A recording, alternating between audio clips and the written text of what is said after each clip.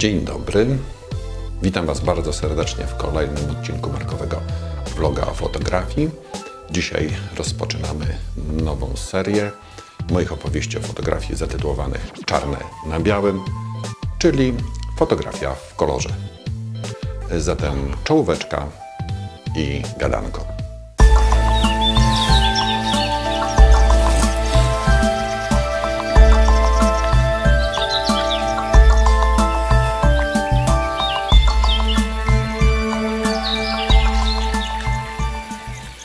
Ostatnio skandalami kończą się konkursy fotograficzne.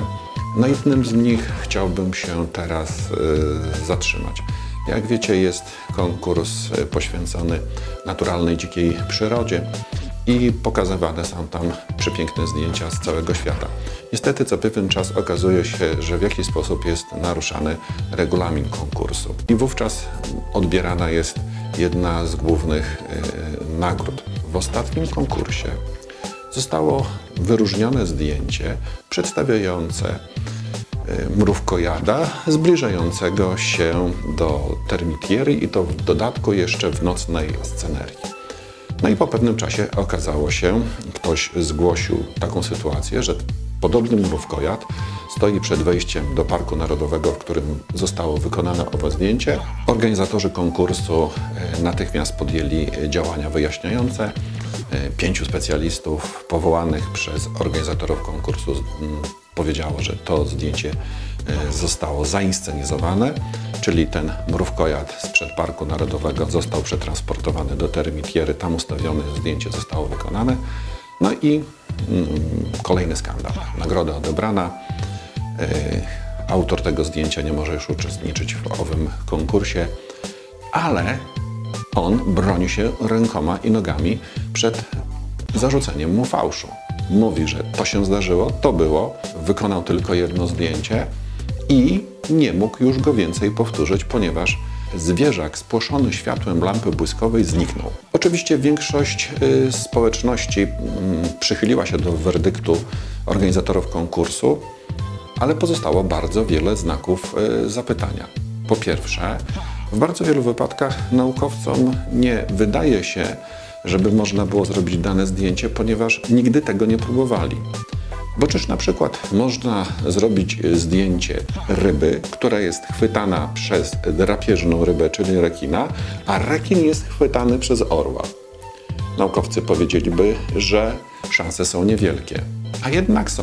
Popatrzcie, jednemu z fotografów to się udało. Być może i w tym wypadku doszło do sytuacji, której naukowcy nie są w stanie sobie wyobrazić, albo jej prawdopodobieństwo oceniają jako bardzo nikłe.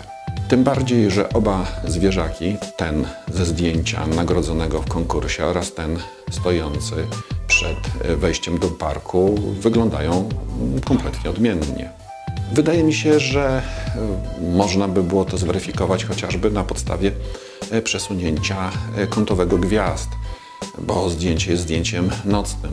Zatem jeżeli pomiędzy fotografią mrówkojada, który zbliża się do termitiery, a kolejnymi pustymi klatkami mamy bardzo krótkie odstępy czasu, no to to zdjęcie może być zdjęciem jak najbardziej prawdziwym. Natomiast jeżeli okaże się, że przesunięcia kątowe gwiazd są bardzo, bardzo długie, no to wtedy mamy wielkie prawdopodobieństwo, że ów obraz został zafałszowany. I tu rodzi się pytanie, na które bardzo trudno znaleźć jest odpowiedź.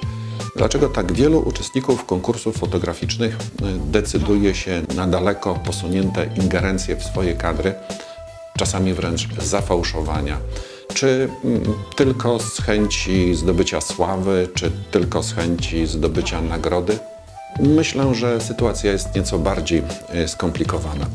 Fotografia e, coraz bardziej opuszcza swoje naturalne środowisko i zmierza w kierunku e, graficznych obrazów. To, co widzimy na monitorach naszych komputerów, jest obrazem skompilowanym z iluś kadrów, z iluś zdjęć w jakimś programie graficznym ta e, sytuacja bardzo, bardzo bliskiej obecności doprowadza do braku rozróżnienia, gdzie kończy się zdjęcie i prawdziwa fotografia, a gdzie zaczyna się już tworzenie obrazów za pomocą programów y, graficznych.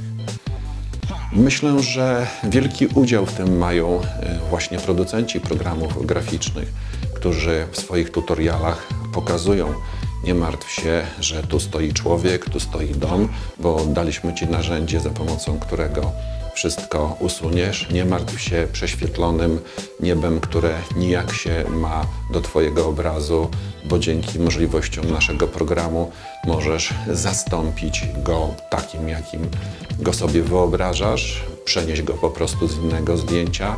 Twoje dziecko się nie uśmiecha, mamy przygotowane narzędzie, gdzie za pomocą jednego muśnięcia spowodujesz powstanie uśmiechu na zdjęciu.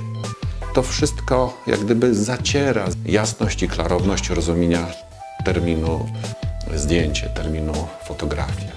Przyglądam się tym zdjęciom, które są najbardziej popularne i niezwykle często są to obrazy, które są tworem biegłości w programie graficznym powstaje sytuacja niezwykle paradoksalna, bo z jednej strony y, ludzie nie chcą jeść sztucznej żywności, nie chcą otrzymywać fałszywych informacji, tak zwanych fake news, ale zadowalają się fałszywymi zdjęciami. Te najbardziej im się podobają. Jeżeli popatrzymy na statystyki oglądalności wielkich serwisów, to triumfy święcą właśnie zdjęcia, które są pseudofotografią, które są w gruncie rzeczy obrazami graficznymi. I dlatego poprzez być może nieuważne czytanie regulaminów konkursów fotograficznych, które zabraniają bardzo daleko idącej ingerencji w obraz, dzieją się owe skandale. Dlatego z jednej strony zezwolenie na mocne ingerowanie w obraz, na tworzenie obrazu z kilku, kilkunastu albo kilkudziesięciu zdjęć, a z drugiej e, strony zderzenie się z regulaminem konkursów fotograficznych, które takich ingerencji zabraniają, doprowadza do owych skandali. Wyobraźcie sobie, że z danych statystycznych e, jednego z wielkich konkursów fotograficznych dowiadujemy się, że blisko 40% zdjęć zostało odrzuconych właśnie ze względu na niezgodność z regulaminem, polegającej na daleko in, idącej ingerencji w obraz fotograficzny. Czyli ta sytuacja jest bardzo powszechna. Ta sytuacja jest akceptowana. Ta sytuacja doprowadza do wielu nieporozumień. Chciałbym, aby ta prawdziwa, rzetelna fotografia realizowana za pomocą aparatu fotograficznego, pliku RAW i wywoływarki była sposobem na realizację wszystkich, wszystkich zdjęć. Moim marzeniem jest e, sytuacja, w której owe wszystkie fake photos e, są po prostu przez nas ignorowane, odrzucane i włożone w odpowiednią przegródkę, czyli grafika.